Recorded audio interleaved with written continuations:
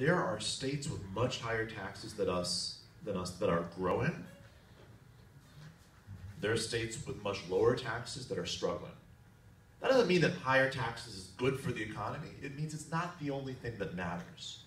And it turns out the one thing that matters way more than how high or low are the taxes is how stable is the budget. If you're a corporation looking to find the place with the lowest taxes, you're not going to pick Illinois anyway, before or after this passes.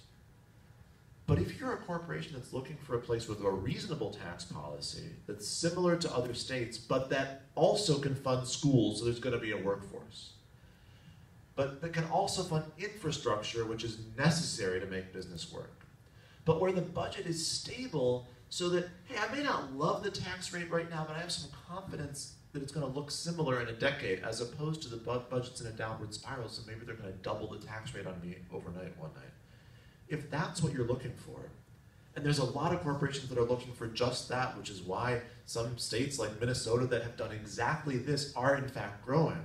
If that's what you're looking for, this change is going to make Illinois an attractive place.